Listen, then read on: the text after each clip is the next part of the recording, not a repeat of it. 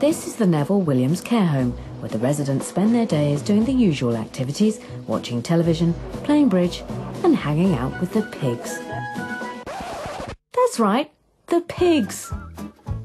Because this is a care home with a difference.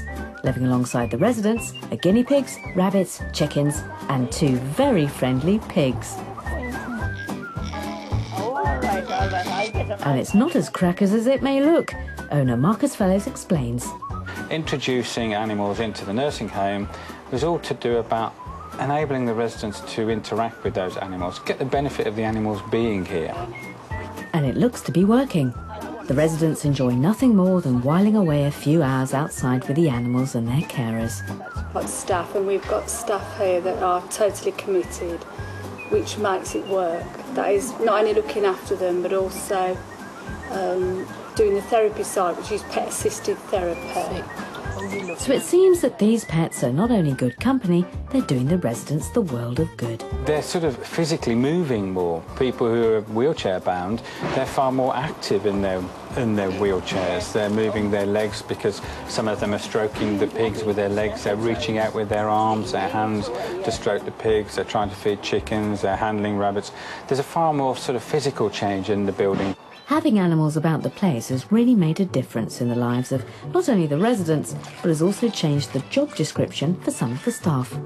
The most important thing for us, though, was the interaction, and that interaction could only take place if we could get staff involved with the animals, helping the residents, because many of our residents are just not capable and able to involve themselves directly.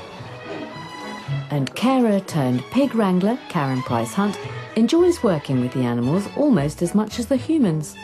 Well, Marcus asked me whether I'd be interested in looking at, after the animals. Um, I said yes, and then he suggested pigs. And I thought, well, never looked after pigs before, but we'll give it a go and see what happens, and we did.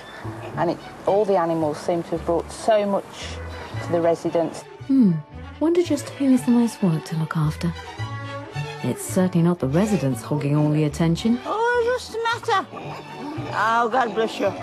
but they don't seem to mind. In fact, they can't get enough of their four-legged friends. A lot of the residents want to come into the garden, even when it's raining, but we don't bring them out when it's raining. We take the animals in. So come rain or shine, the residents love having the animals around, and some can't imagine, or rather won't imagine, life without them. If these weren't here would you stay No, No. can't longer. Seems the animals really are a big attraction at the home, and not just for the residents. The things I notice is we get a lot more visitors. The residents are out in the gardens more often. It's lovely. It's clear that animals have made a real difference at the home and in the lives of its animal-loving residents.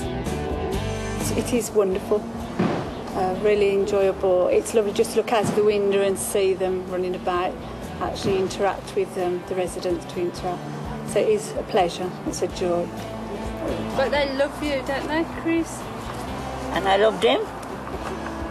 The big ears.